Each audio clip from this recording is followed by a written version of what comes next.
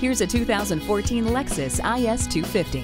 This luxury sports sedan has a rich interior with a number of practical improvements. Inside, it includes climate control, a garage door transmitter, power seats, and a power moonroof. Its progressive exterior design is accented by dual exhaust, fog lights, heated mirrors, a head-turning spindle grille, and aggressive sculpted lines. No one will complain about the temperature with the dual zone climate control. All-wheel drive allows you to master any road, anytime. Hindsight is 2020 with the backup camera. Hitting up the town, running errands, or going to work. Whatever you use this Lexus for, you'll look good doing it. See you today.